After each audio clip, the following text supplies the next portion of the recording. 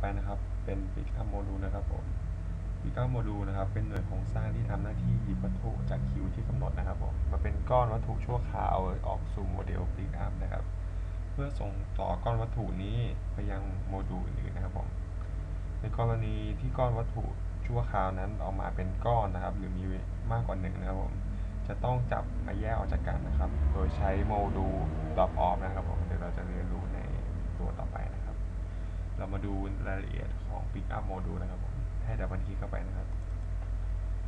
ส่วน name นะครับผมก็จะเป็นชื่อตัวนี้นะครับ ชื่อโมดูลที่จะแสดงให้เราเห็นนะครับ ส่วน quantity นะครับผมจะเป็นระบุจำนวนวัตถุที่เราจะต้องหยิบออกจากคิวนั้นนะครับผม ต่อไปนะครับเป็น queue name นะครับผมก็คือชื่อของคิวที่เราจะดึงออกมานะครับ จะอยู่ในคิวตรงนี้นะครับผมเนี่ยครับ เดี๋ยวพอเราสร้างปุ๊บมันจะเป็นออโตโนมัติครับผมสุดท้ายนะครับผม starting rank นะครับผม จะเป็นใส่ค่าเริ่มต้นจากลำดับที่เท่าไหร่นะครับ ที่เราที่เราต้องการหยิบออกจากโมดูลนี้นะครับผม